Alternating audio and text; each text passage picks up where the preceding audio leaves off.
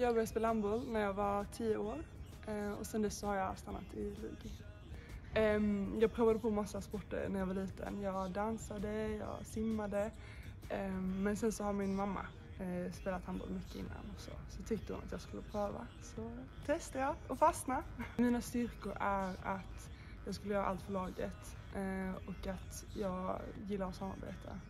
Så det passar bra med lagsport. Eh, utanför handbollen så går jag i skolan. Jag går tredje året på Malmö idrottsgymnasium. Eh, och annars så är jag mycket med min familj eh, eller med kompisar.